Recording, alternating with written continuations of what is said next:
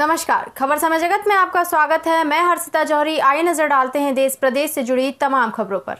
खंडवा पहुँचे अंतर्राष्ट्रीय कुश्ती कोच कृपा शंकर पटेल ने बताया कि अब खेल नीति से होगा खिलाड़ियों का विकास। शासन ने पहली बार खिलाड़ियों से मांगे सुझाव। खेल में राजनीति से होगा खेलों को नुकसान। खेल युवा कल्याण विभाग को जिला पंचायत सौंपना गलत है। खंडवा दंगल फ़िल्म सुल्तान जैसी फ़िल्में युवाओं को और लड़कियों को कुश्ती के प्रति काफ़ी प्रोत्साहित कर रही हैं। आज कुश्ती के प्रति लोगों की मानसिकता बदली है। अब कुश्ती में महिलाओं की भागीदारी अधिक हो गई है। छोटे छोटे गाँव से बालिकाएँ आगे आ रही हैं कुश्ती के लिए और कुश्ती में राज्य और नेशनल तक जाकर ज़िले और प्रदेश का नाम रोशन कर रही हैं। मध्य प्रदेश की ही 40 प्रतिशत बालिकाएँ कुश्ती में आगे हैं और मध्य प्रदेश में कुश्ती के प्रति भागीदारी निभा रही हैं। साक्षी मलिक गीता फोगाट बालिकाओं के लिए प्रेरणा बन गई हैं। महिला कुश्ती ने पूरे देश में आज एक क्रांति ला दी है। अब हर माँ चाहती है कि मेरी बेटी भी गीता और बबीता बने।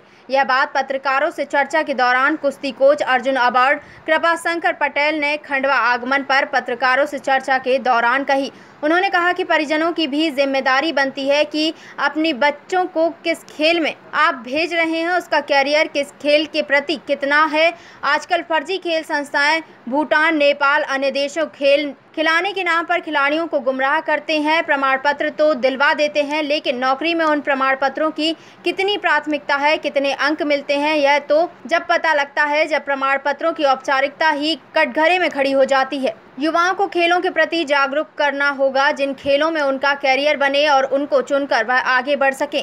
ओलंपिक गेम में किन खेलों को प्राथमिकता दी जा रही है, उन खेलों के प्रति युवाओं को जागरूक होना पड़ेगा। आज के खिलाड़ियों को सही दिशा देने की ज़रूरत है। मध्य प्रदेश शासन द्वारा खेल विभाग को दिए जाने के प्रश्न पर कोच कृपा शंकर पटेल ने कहा कि जिला पंचायत को देना खेल विभाग को बहुत गलत है। खेल में राजनीति बंद होनी चाहिए। यदि खेल में राजनीति हुई तो खेल बर्बादी की ओर चला जाएगा। पूर्व में खेल युवा कल्याण विभाग पुलिस अधीक्षक महोदय के अंदर होता था, उसमें एक पारदर्शिता थी, लेकिन अब जिला पंचायत में पंचायत स्तर पर सरपंच को भी प्राथमिकता देने के आधार पर खेलों में राजनीतिकरण की बात कहीं। खेलों में आरक्षण नहीं होना चाहिए। खेलों में जो प्रतिभावना खिलाड़ी है, वे आगे आए, तभी खेल आगे बढ़ेगा। मध्य प्रदेश सरकार ने पहली बार खिलाड़ियों की भी राय ली है कि खेलों को किस प्रकार आगे बढ़ाया जाए। इसके लिए समिति भी बनाई जा रही है, जिसमें मैं भी हूँ। खेल नीति पर दो मीटिंग हो चुकी हैं। तीसरी मीटिंग होनी है। खेल नीति पर जल्द ही अच्छे काम होंगे।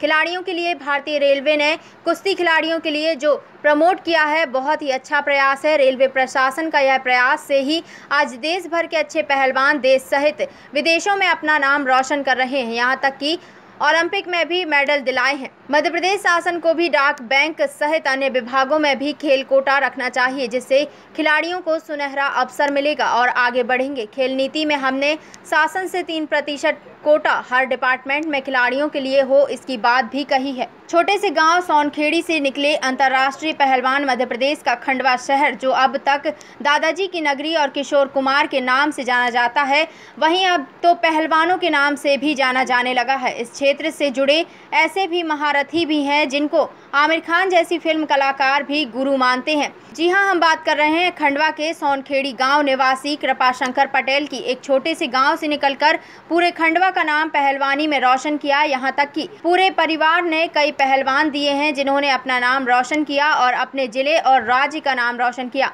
ये न केवल पहलवान हैं, बल्कि नेशनल महिला कुश्ती के कोच और देश के अर्जुन अवार्ड से सम्मानित भी हैं। शुक्रवार को पत्रकार से चर्चा के दौरान कृपा शंकर ने कहा कि पहले अपनी बेटियों को जब कुश्ती में उतारा तो लोग ताने कसते थे, लेकिन जब वे स्टेट और नेशनल खेलने लगी तो सबकी मानसिकता ही बदल गई। जहाँ कभी लोग लड़कियों का उपहास करने में नहीं चूकते थे, आज वही बेटियों को खुले दिल से हर क्षेत्र में बढ़ावा देने की बातें करते नज़र आ रहे हैं। और बेटियों की कामयाबी का हर जगह उदाहरण देते नज़र आ रहे हैं। आज छोटे छोटे गाँव में बेटियाँ कुश्ती स्पर्धा में आगे आ रही हैं। यह बात कुश्ती संघ के सचिव रघुनाथ पांचरे ने कही। वहीं खंडवा कुश्ती के वरिष्ठ पहलवान मंगल यादव ने कहा कि युवती अपनी क्षमता पहचाने और बढ़ चढ़ कर कुश्ती के क्षेत्र में आगे आए।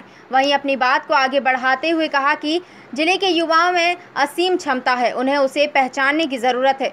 अगर युवा और खिलाड़ी निरंतर मन से मेहनत करें तो वे सफलता ज़रूर पाएँगे। अगर लंबे समय तक फिट रहना है तो गप्पेबाजी को कम करते हुए अपने शरीर के लिए भी कम से कम एक घंटा तो अपने शरीर के लिए निकाल कर मेहनत तो करना चाहिए। हमारे खंडवा में भी कई सुविधाओं वाले अखाड़े हैं और लेकिन अब हमें ज़रूरत है स्पोर्ट्स स्कूल की, जहाँ पढ़ाने के लिए बेस्ट टीचर हो और गेम्स की कोचिंग के लिए बेहतरीन कोच हो। यहाँ बच्चा सुबह प्रैक्टिस करे और अपनी डाइट लेकर यहीं पढ़े और दोपहर में आराम करे। शाम को फिर प्रैक्टिस और पढ़ाई हो, तब हमारे यहाँ से वाकई पदक जीतने वाले खिलाड़ी निकलेंगे। खबर समय जगत के लिए खंडवा से कैमरामैन भवानी प्रसाद शर्मा के साथ ब्यूरो चीफ दीपक चावरे की रिपोर्ट। देश प्रदेश से जुड़ी तमाम खबरों से रूबरू रहने के लिए देखते रहिए खबर समय जगत।